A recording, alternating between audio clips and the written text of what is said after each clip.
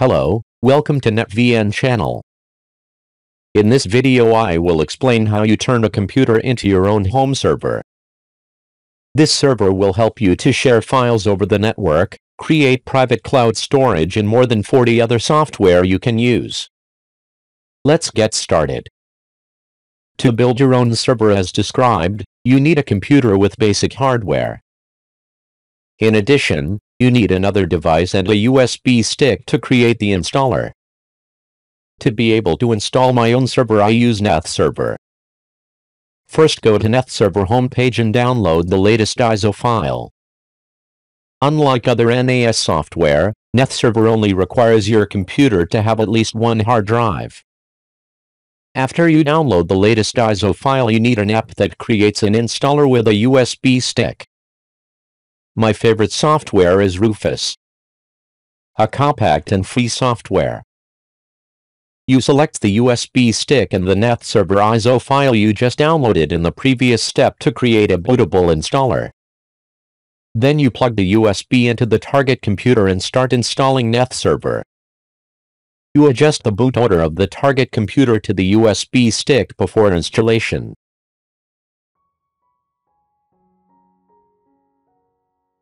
NethServer is installed on the operating system CentOS. You will be asked to update the time zone and keyboard style.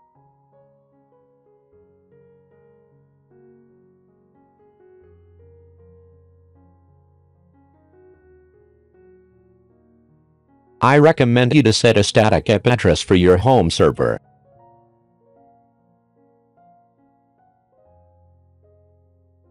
You choose to set the IP address manually. In this example, I assign the IP address to 10.11.32.124. The gateway address is 10.11.32.140. You set up the appropriate IP address for your local network. Next you set up the DNS address for your computer.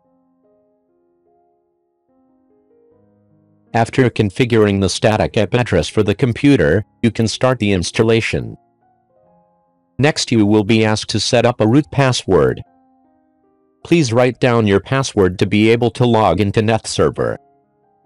It will take about 5 minutes to complete the installation.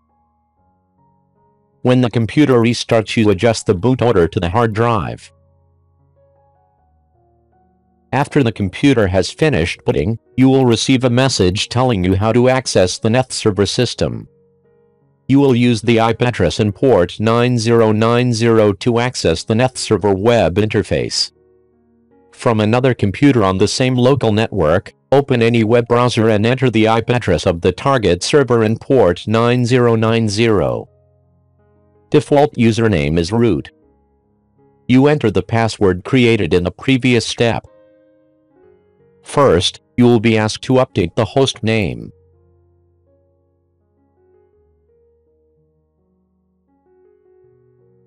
Then you edit the company name, but you will update a name you like.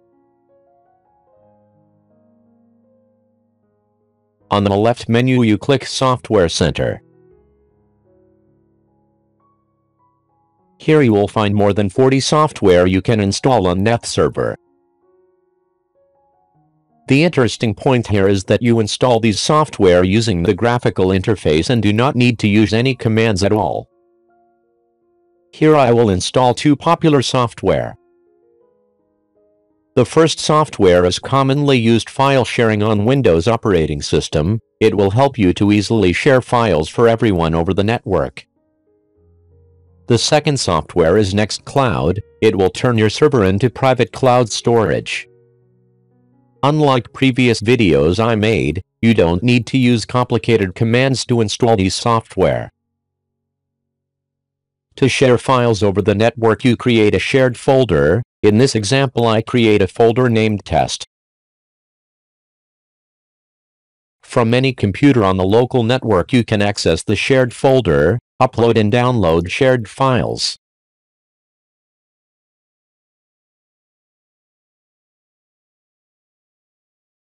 Next you try Nextcloud software by accessing settings. Then you access the application Nextcloud. Default username is admin. And the default password is netserver.1234. So you have installed Nextcloud on your private server.